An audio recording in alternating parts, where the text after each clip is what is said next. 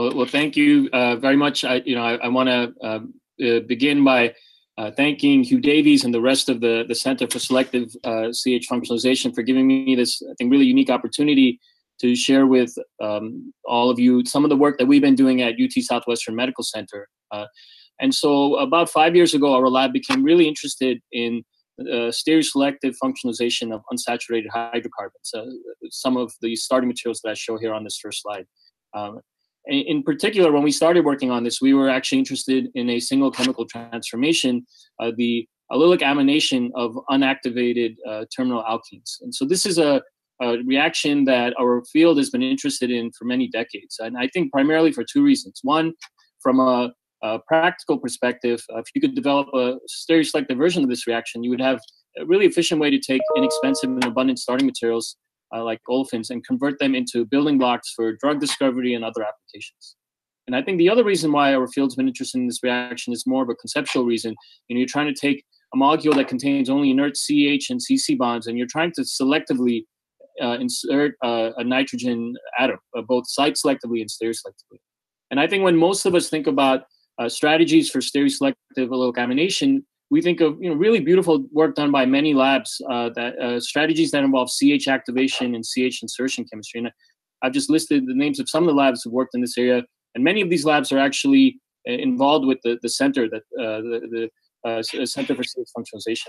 And so when we started thinking about this uh, reaction, we were actually drawn to a very different strategy, one that was really pioneered by Sharpless and Kresze and others in the, the late 70s and early 80s. Uh, and through a very different mechanism, uh, Sharpless and others took uh, the same types of starting materials uh, and converted them to the same type of allylic amination product. Instead of using CH activation or CH insertion chemistry, uh, they used pericyclic reactions. And, and so in, in the early work of Sharpless and others, uh, you know, they were able to take unactivated alkenes and convert them into racemic allylic amination products. And so we wondered, you know, could we somehow render these this, uh, these reactions enantioselective, uh, the, the allylic amination through pericyclic reaction. Uh, but there were a lot of challenges that, that this goal presented. And, and to explain those challenges, let me describe this mechanism in a little bit more detail. So it's a two-step process. In the first step, uh, Sharpless and others uh, proposed that the uh, unactivated alkene undergoes an ene reaction with a, a nitrogen-based electrophilic oxidant. And so here I, you can see I draw these ene adducts in through two different resonance forms. Uh, included in this uh, uh, resonance form. It's in this second step that you actually generate the carbon stereocenter in the thermal 2-3 rearrangement step. And so if you're trying to develop a stereoselective version of this strategy, effectively, uh, you need to try to develop an enantios, catalytic enantioselective 2-3 rearrangement. And I think that's where the problem lies. You know, we, we often teach our students that um, uh, 2-3 rearrangements, especially of reactive substrates like these, are not easily amenable to uh, asymmetric, modern day asymmetric catalysis. And so we wanted to challenge that assumption that these types of 2-3 arrangements uh, uh, cannot be rendered uh, catalytic enantioselective. The, so the first thing we needed to do was get a sense of how stable these ene adducts were. I guess one thing that concerned us was that the early work by Sharpless and others never uh, actually isolated these ene adducts. They just observed the, the amination products. So very quickly, we learned that these ene adducts are more stable than we thought they would be. So starting off with one octene as a um, as a model substrate, we treated it with this uh, nitrogen-based electrophilic oxidant, and, and, we quickly learned that these ene adducts can actually be observed by NMR. At uh, low temperatures, they're relatively stable.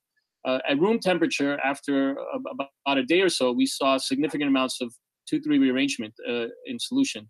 When we also tried to purify these ene adducts with uh, column chromatography, we also saw uh, the thermal 2-3 reaction.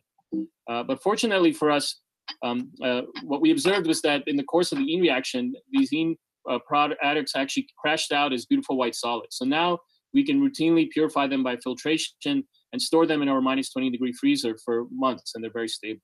And so the next question we had was, you know, how would we, how can we accelerate the the 2-3 rearrangement with the catalyst? So initially, we thought that you know we viewed these ene adducts as kind of a, a, allylic system that perhaps in the presence of a low valent metal could undergo an oxidative addition into this carbon sulfur bond. And, and so we treated this ene adduct with various low valent metals, palladium zero, iridium one, rhodium one, and none of those seemed to give us any amounts of the desired uh, allylic amination product. But fortunately for us, in the presence of palladium 2 salts like palladium acetate, now we saw significant amounts of rearrangement. So this was a really exciting result for us. This is kind of the proof of catalysis that we, we were hoping to see. And so we assume these reactions proceed through a mechanism that's really reminiscent of Overman's uh, palladium catalyzed rearrangements, where the palladium, instead of going a, a, a palladium 02 catalytic cycle, we believe the palladium acts as a pi acid. So we think it uh, activates this double bond, bond for a cyclization event, and then we think this cyclic intermediate undergoes a fragmentation to generate the uh, desired allylic amination product. And so we wanted to try to render these reactions enantioselective with chiral palladium complexes. And, and, to make a real long story short, we were able to realize that goal the, by using these uh, uh, bisoxazoline ligands. So we can start off with unactivated um, hydro, uh, uh, alkenes, these unsaturated hydrocarbons, perform the ene reaction, followed by the 2-3 rearrangement to generate the allylic amination products. And, and because we uh, you know, initially optimized this reaction with 1-octene as a model substrate, we could take other uh, both linear and slightly branched uh, unsaturated hydrocarbons and, and generate the allylic amination products. Uh, we also were able to incorporate different functional groups. So here I show an example of, of taking uh, the same diene starting material and generating two products. So, so, this product shown here on the left is generated when we use the diene as uh, in excess, and this product shown here on the right is when we use the electrophilic nitrogen-based oxidant in excess, we can generate this product. Uh, so one important limitation to this chemistry is that nucleophilic functional groups don't work well. And so we think nucleophilic functional groups just add into the electrophilic oxidant before the ene reaction can occur. But if we protect the nucleophilic functional groups, uh, we can restore the reactivity. Uh, we also observed that uh, electrophilic functional groups work well in this chemistry. And, uh, you know, it's because, I think it's because, you know, we're dealing with an electrophilic oxidant and an electrophilic catalyst system. So electrophilic functional groups like aldehydes and nitriles and chlorides are all compatible with this chemistry. So, you know, at the beginning of my talk, I mentioned that one of the motivations for studying allylic chemistry is the is the hope that you know, we could have, as a field, a, a more efficient way to take a really uh, inexpensive and abundant feedstock uh, starting materials and convert them into building blocks for drug discovery and other applications. And and our hope is that you know now the field will view not just CH activation and CH insertion chemistry, but also these uh, pericyclic reactions as maybe a useful strategy to to perform stereoselective allylic aminations. Uh, and so we also wondered, you know, what else could we do with these ene adducts that we generate from terminal alkenes? You know, we had shown that uh, we could uh, tame their reactivity with palladium catalysts to accelerate this intramolecular process, this 2-3 uh, rearrangement. We wondered, uh, could we view these ene adducts as surrogates of alkenes to do other types of chemistry, maybe intermolecular chemistry? So instead of using palladium, could we use an, another metal catalyst and maybe an external nucleophile to realize intermolecular processes. And, and so we decided initially to focus on Grignard reagents with the hopes of being able to generate carbon-carbon bonds uh, in an, uh, effectively in an allylic alkylation process. And so we, we chose Grignard reagents for primarily two reasons. One, you know, they're, they're, uh, many of them are commercially available. They're relatively stable compared to other organometallic reagents. But the second reason is that uh, you know there is a great deal of knowledge out there about how to control the reactivity of Grignard reagents with various allylic electrophiles, uh, both uh, to effectively control the, the, the regioselectivity of these reactions. And so we learned that copper chemistry works really well. So now we can uh, take terminal alkenes, perform the ene reaction, and without isolating the ene adduct, we can subject it to copper catalysis in the presence of various Grignard reagents to generate uh, the allylic alkylation product, uh, the linear product with the internal al- double bond with high E selectivity. By changing the reaction conditions, specifically the copper source, um, the, the ligand, uh, using these Buchwald type ligands, importantly also the solvent and the temperature, we were able to switch the selectivity now to generate this constitutional isomer, the branch product in real high uh, branched lin- linear selectivity. And, and, what the exciting thing about generating these branch products is that we can take this uh, branch product and do further chemistry, uh, which I'll show you in a couple of slides. Um, so we think that the, the reason for this switch in selectivity has to do with uh, the mechanism of uh, uh this reaction, uh, which I try to summarize here on the slide. So in, initially, we think that uh, alkene starting material undergoes an ene reaction. And then, so we actually need to use excess Grignard reagents to get high yields. We think one equivalent of Grignard reagent presumably activates this ene adduct to generate a more reactive allylic system which then engages with the copper catalyst. And we think that uh, either a monoalkyl cuprate or dialkyl cuprate intermediate could be generated. And based on really beautiful work done by Nakamura and others, we think the dialkyl cuprate intermediate is responsible for generating the product, sorry, uh, uh, through an oxidative addition uh, to a copper three intermediate, whereas we think the monoalkyl cuprate leads to the formation of the of the branch product. And so we were able to take these branch products um, and actually do some interesting chemistry with them. We could resubject them to the reaction conditions now using a different Grignard reagent to generate now a fully substituted carbon center, maintaining the high selectivity for the branch product. And so what this allows us to do now is to take uh, really simple alkene starting material. So propylene perhaps being the simplest alkene starting material with allylic protons. And we can subject it to uh, three iterative rounds of this branch selective allylic alkylation chemistry to generate uh, fully substituted carbon centers. And so now we're having a lot of fun thinking about you know what types of products we can make with this chemistry.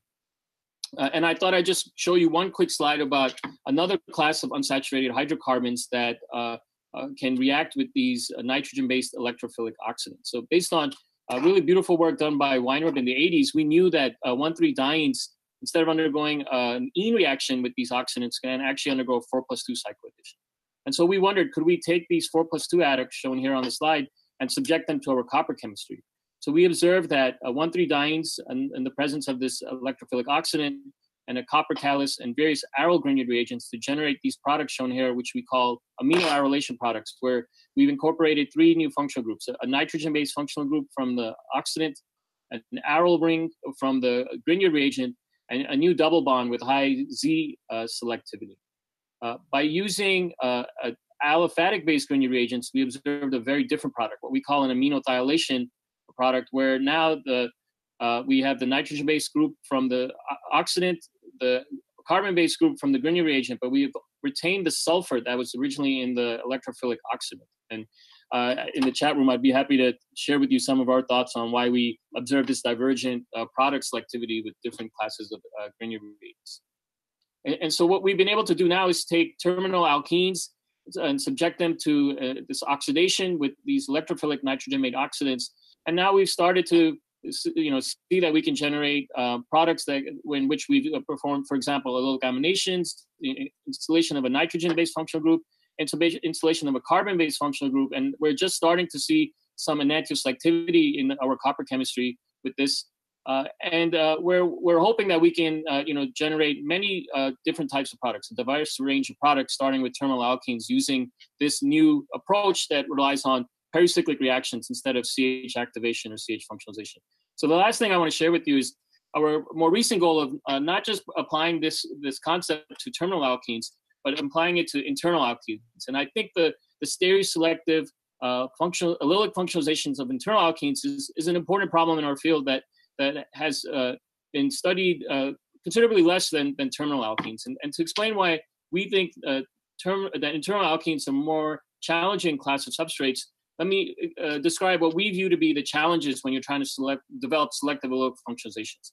With terminal alkenes, uh, effectively, you're trying to distinguish between two products, two enantiomers. Uh, and, and, so there have been many beautiful approaches developed by different labs using chiral catalysts as well as chiral reagents to realize uh, enantioselective allylic aminations, allylic alkylations, and other processes. Um, and so the problem with internal alkenes is that you've multiplied the challenges that you have to address. Not only do you have to address the issue of enantioselectivity, but you also have to address the issue of E/Z selectivity because the product itself uh, is an internal alkene. And so you have to uh, address that. And also, if you start off with an unsymmetrical internal alkene where R and R prime are not the same, you have to address what I think is perhaps the most challenging uh, issue, uh, that, and that's of regioselectivity. You have to distinguish between constitutional isomers. And, and, and, you know, if you look at the literature, perhaps uh, the, the, only general uh, effective way to uh, realize um, it's stereoselective and regioselective functionalizations of internal alkenes has been work done by Hugh Davies' lab uh, with uh, acyclic internal olefins. Uh, a lot of the other work with internal alkenes is focused on cyclic internal olefins. And so we wondered, you know, could we apply this ene reaction that we've we've been studying to address this this goal? And so, you know, so far I've shown you what we've been able to do with the ENE products. You know, we've generated the ENE products and then uh, focused on using uh, catalysts to uh, functionalize those ENE products. And so with internal alkenes, we decided to focus on this first step, the ENE reaction. And the reason for that is uh, the product of an ENE reaction with an internal alkene is chiral in and of itself. You have this ca uh, carbon-based stereocenter. And so we wondered, could we use a chiral Lewis acid uh, to develop an, an enantioselective version of this ene reaction. The problem here was that in the presence of various chiral Lewis acids, we obtain racemic product. And the reason is because this uh, electrophilic oxidant is highly reactive. Even at minus 78 degrees, we saw a significant background reaction in the absence of any catalyst. So we decided to dial down the reactivity of these oxidants using uh, this uh, oxygen-based oxidant now that was uh, 10 times less reactive than the original oxidant. And now we saw no background reaction all the way up to minus 10 degrees, which allowed us at minus 70 degrees to use this antimony pentachloride binol system uh, to generate the uh, oxidation product through an ene reaction with good yields and EEs. And so I just wanted to show you some of the types of products we can make. Initially, we decided to focus on using uh, symmetrical internal alkenes. And as you can see, we could take various uh, unsaturated hydrocarbons that contain internal uh, unsaturation and generate the products with uh, good yields, uh, EEs, as well as high selectivity for the E olefin. Um, we were also able to incorporate various functional groups. So, for example, chlorides, as well as other halides, bromides and iodides. Trifluoromethyl groups were also compatible.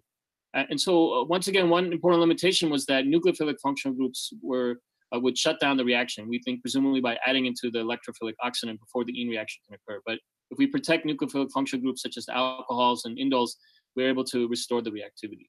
So the big question we had was what happens when we try to perform these reactions in with unsymmetrical alkenes? Do we observe any regioselectivity?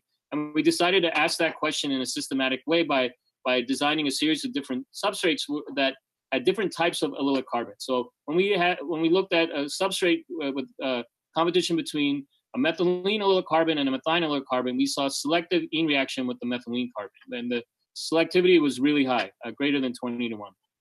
Similarly, we saw the same type of selectivity when we had a competition between a methylene carbon and a methyl carbon. Once again, high uh, selectivity. Um, we also observed an electronic effect. So uh, when we installed electron withdrawing groups such as chlorides, depending on the distance between the chloride and the initial double bond, we either saw really poor regioselectivity, or if we moved the chloride one carbon closer, we saw a very high regioselectivity. And this electronic effect was maintained with other functional groups. For example, iodide also uh, uh, led to some a good level of regioselectivity, as did a trifluoroacetate group. Even a simple phenyl ring gave us some regioselectivity. It's not high, but the fact that we saw any regioselectivity was exciting to us.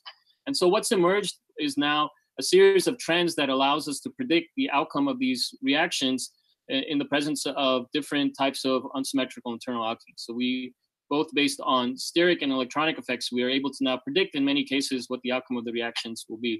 And so I thought I'd just show you two examples of uh, substrates that contain multiple internal double bonds. And based on our, uh, you know, uh, uh, uh trends that we observed, we could predict the outcome of these reactions. For example, this substrate that contains three sets of allylic uh, carbons, we saw selective reaction with this allylic system here and, and we predicted that based on the observation that styrene systems are not reactive in our system and that methylene carbons react preferentially to methyl carbons. So we saw high re- activity. Also, the substrate that contains four different sets of allylic uh, systems, we saw selective reaction with this uh, uh, allylic system. Um, um, and so uh, we think this reaction proceeds through a mechanism that's really reminiscent of early work done by Ishihara and Yamamoto, as well as Corey, where the antimony binol system, instead of acting as a chiral Lewis acid, we think is acting as a Lewis acid assisted Bronsted acid. And so we think this reaction proceeds through a closed transition state where the this Bronsted acid is uh, activating our uh, oxidant uh, uh through a LUMO lowering mechanism. And then uh, we think this uh, coordination leads to the observed enantioselectivity as well as the regioselectivity. Um, so we think that this closed transition state can account for the preference uh, in the regioselectivity trends we observe with methylene versus methine carbons, for example, where uh, reactivity with the methine system would lead to undesirable syn-pentane interactions in the transition states. And so we can do a similar analysis with the different uh, uh, uh types of substrates. And so finally, I want to show you what we can do with these allylic oxidation products. You know, hopefully I've shown you that we can now generate one allylic oxidation product uh, starting with unsymmetrical alkenes. We can generate it selectively and we wondered, could we take advantage of all these uh, atoms in this electro uh, this allylic oxidation product to generate many different types of products? Uh, and so we've started doing being able to do that. So, for example, this sulfur in this allylic oxidation product can lead to the formation of allylic thiols through reduction. Uh, we can uh, form form this allylic alcohol through a stereoselective 2-3 rearrangement. An alternative stereoselective 2,3 rearrangement with a Lewis acid can lead to the uh, carbon-nitrogen bond. We can use our copper chemistry to form these enantiomer-enriched uh, unsaturated hydrocarbons. And finally, we can use electrophilic sources of chlorine, for example, to generate these allyl chlorides. Um, and so with that, uh, I'll end by just you know uh, you know reemphasizing. Hopefully, I've shown you that uh, you know sigmatrope uh, that pericyclic reactions and sigmatropic arrangements can be maybe a different way to think about doing stereoselective functionalization, allylic functionalization of alkenes. And, and finally, I just want to thank my group. Uh, it's you know it's a group that uh, I'm really proud of. And so I just want to introduce you to some of them. Hongli Bao is a former member of the lab who developed the allylic amination chemistry and also initiated a lot of the copper chemistry uh, and then the, the diene chemistry was done uh, uh, by Chris Sleet. Um, Ling Xin did the branch selective alkylation chemistry. And then the, the last part of my talk on the uh, chemistry with internal alkenes is work done by Liela Bayeh and, and Phong Le. And I, I really want to highlight uh, Liela's work. Uh, you know, it was the allylic amination, the allylic functionalization chemistry with internal alkenes is one of the most challenging projects I've been a part of. And I think Lila really pushed that project intellectually and experimentally. Um, and so I'd also like to thank the funding agencies and once again, the, the Center for uh, CH Functionalization for giving me this opportunity. And I'd be happy to answer your question through the chats.